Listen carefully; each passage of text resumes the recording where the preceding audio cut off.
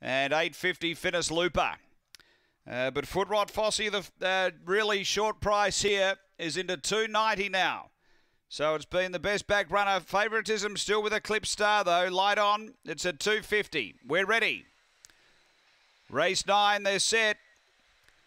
Racing. And there's pace out deep. Finis Looper pushing on, going quickly. Eclipse Star near the rail will boot up the lead. Through to third is Rusty Fury. Uh, then Donovan Bale, Electra Style. And not in the race, Footrot Fossey. Up to the bend, ran off the track here. Eclipse Star had held the lead. The inside, Finis Looper and Rusty Fury. It's a Eclipse Star pulling clear again late. And Eclipse Star first. Second close. Rusty Fury or Finis Looper and Footrot Fossey into fourth.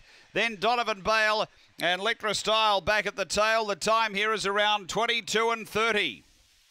After the running of uh, race number nine and Eclipse Star for Ray Murray. Um, really uh, wobbled on that home bend and then was able to straighten itself up and get rolling again. Uh, number two, second, going to uh, eight is in the frame. Rusty Fury for second. Tony Henriksen and third to seven, Finis Looper Ryan Tugwell. It's 287. Uh, 22 36 the run. Four is fourth after race nine here at Murray Bridge.